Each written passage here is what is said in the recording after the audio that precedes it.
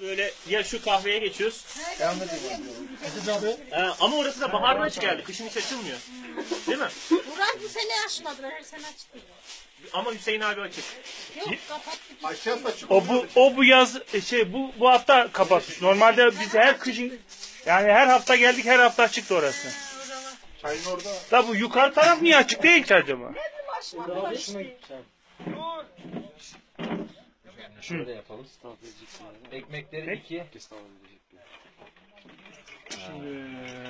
Aman aman. Aman aman. Hasan abi. Hasan Hasan Hasan abi, antrikot mu kesiyorsun Hayır bak işte? Sedona'ya bu kadar laf atarsan baştan gelecekler daha dur. Daha bu ne ki? Daha eve Ben gideceğiz. Sedena'ya laf atmadım. Sedena'ya laf atan abilerimizin bu konuda uzman olan Birim. arkadaşlarımızın He. arkasından gittim.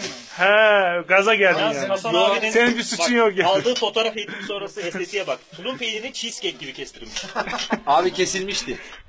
Şunu bir tartar mısın dedim. Biz bakalım eğitimden sonra nelerimiz değişecek. Ver bakalım kardeşim şimdi. Bu ne Eğitim şart. Gönderdim Emre seninle hocam. olan resimleri Eğitim aldım. şart. Gökhan abi. Seninle olan resimleri gönderdim. Ya, okul fakültesinde eğitim- öğretim görevlisi arkadaşım. Ee, bugün ayın kaçı? 5 mi 6'sı mı? 6 abi. 6 Mart. Bugün altısı. Buyurun. 6 Mart Pazar. Bugün 6 Mart Pazar 2016. Pazar turundayız. Boş ver ya. Altına Ben de Selimcan Şengül. Burası Yeşilçat köyü. Ee, no- yağmurlu havadan dolayı rotalarımızı fazla araziye giremeyeceğimizi düşünerek sadece asfalt tarzını seçtik. Dolayısıyla biz buraya geldik. Ee, zaten kış boyunca da gel, kış boyunca da geldiğimiz bir rotaydı. Ee, dolayısıyla çok yabancılık çekmedik ama planlarımızda aksilik oldu çünkü Bakar mısın? ee, aşağıdaki çay ocağı kapalıymış. Kapalı olunca da burada burası muhtarın eviymiş. Köy muhtarının eviymiş. Köy muhtarı da bizim şu ilerideki herhalde. İlerideki beyaz saçlı.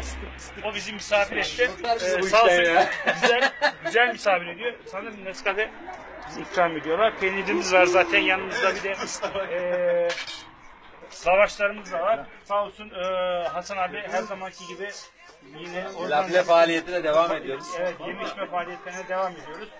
Aa, güzel bir tur oldu. Şu ana kadar iyi gidiyorduk. Ee, inşallah belasıyla güzel bir tur olacak. Bisikletlerimiz de burada.